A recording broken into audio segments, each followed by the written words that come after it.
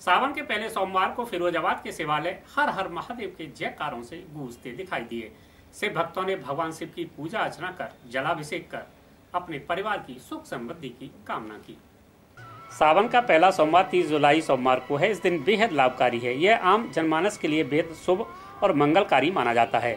इस अवसर पर ज़िले के भक्तों ने शिवलिंग पर सबसे पहले गंगा जल चढ़ाया। फल तथा प्रसाद शिवलिंग को अर्पित किया। इसके बाद दूध, दही, शहद, चावल शिवलिंग पर अर्पित किए। जब हमने शिव भक्तों से बात की तो उनका कहना था कि प्रथम सोमवार को हमने देश और प्रदेश के आम लोगों की भविष्य में सुख और शांति के लिए प्रार्थना की है।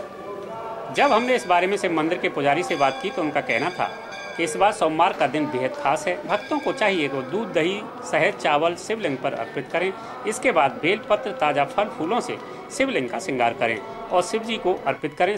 शिवलिंग के सामने दिया धूप करें तथा शिव जी की आरती कर प्रसाद सभी को बांटें, खुद भी खाएँ और जनता को भी खिलाएँ। इससे न सिर्फ़ लोगों की मन में शांति होगी, बल्कि शिव की भक्तों पर कृपा भी बनी रहेगी।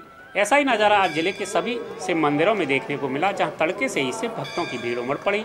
यहाँ तक कि कावड़ लाने वाले भक्तों की संख्या भी प्रथम सोमवार को अधिक थी। श्रावण मास का प्रथम सोमवार है।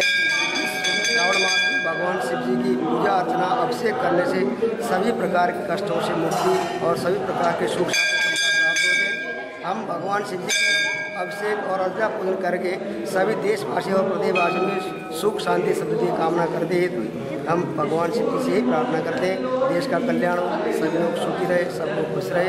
हमारी यही प्रार्थना है। श्रावण मास सबका कल्याण प्रद